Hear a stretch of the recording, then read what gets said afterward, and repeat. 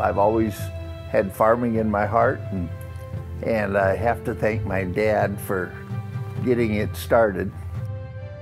I remember mom standing in the middle of the living room and saying, We bring our kids up, thou shalt not kill, and then you send them off to war with a gun. I don't know how many nights it was. We really didn't know if he was dead or alive for almost two weeks. When I first met Denny, I never seen his chair. I seen the person that was in it. He was fun, you know. I know a lot of people that can walk that don't have the attitude that Denny has. I can't say anything bad about my life. Uh, being in a wheelchair probably isn't the way I would have planned it, but uh, I figured I'm here for a purpose. And maybe it's to help them guys.